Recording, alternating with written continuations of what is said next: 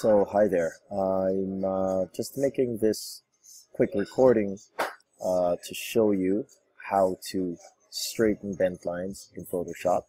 Um, this is just to supplement my post on five photography, um, interior photography tips to make your photos look a little more professional. Now, um, when I first started, this was always a problem. My lines, uh, vertical lines, um, in my photos always seemed bent or warped, and I didn't know how to fix them. So one thing you'll notice with professional photography, uh, interior photography, is that these lines are never bent.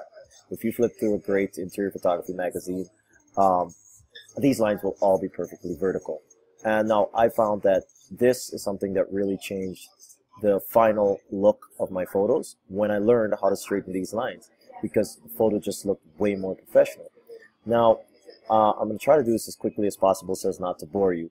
But this is basically a combination of um, creating layers and warping. Um, so the first thing that I would do is to use these ruler tools. Um, they're regularly hidden here. Uh, if you didn't know that, uh, you can um, show your ruler and use this ruler tool like that. It would be, and you would drag it out to the most extreme vertical lines. And these are the lines that you want to make sure are perfectly straight. Now, I'm just going to drag and show you a couple lines. Uh, here is bent, and here is bent.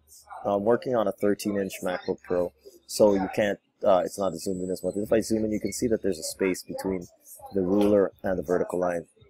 And if you look at this side, this is called uh, the barreling effect, where these lines begin to curve like that as a, as a barrel would, and that's because I'm using a wide angle of 10 to 20 millimeter lens. Now the first step is to select this uh, rectangular marquee tool, and I apologize to any Photoshop pros. I taught myself everything I know, so I might not be as technical as the, as the next person, but this is what I do. I uh, select and make a, an area using this rectangular marquee tool. And then I want to make this its own layer. So I use Command J. And the aim is then is to straighten these lines to bring them in line with these green lines. So what I would do is edit, transform, warp. And you see this area is selected. Now, um, the first bent line is this one. So we want to straighten that just a bit by pulling down here, just pulling it just a little bit. And if you notice, that line went in a bit. And now this line still has a space between the line and the wall. So I'll pull again here, and that adjusts that line. And if you notice, it begins to straighten the other lines, but only by a little bit. So I come to the next line, which is this one, and I pull it just again a little more. And that worked. And then now there's a little gap still left here. So I'll pull and straighten that one and I compare the top part, uh, everything looks just about right. There's a little bit of something going on here that I don't like, and right here. So I can then click, see this, if we zoom in, there's, this line is not perfectly straight, so I can get it, pull it up just a little bit here. Did that push anything out of line? Uh, everything looks pretty good. Uh, there's a little bit of, of warping out here, so I can then pull maybe here just a little bit. So again, you just click on your cursor and pull.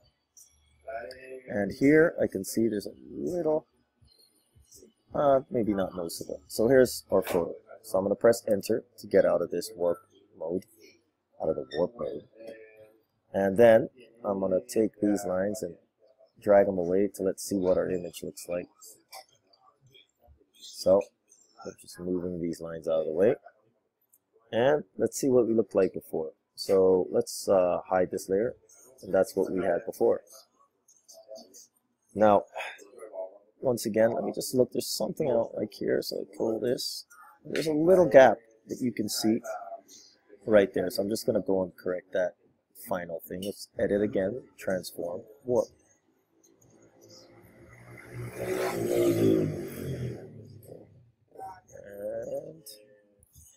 There we have it. And then the last line that I'm going to do quickly, just to reiterate the point, is this one, which is not as drastic. Um, again, I don't know if this is right or wrong, but I uh, tend to uh, merge the visible layers back into one layer, and I create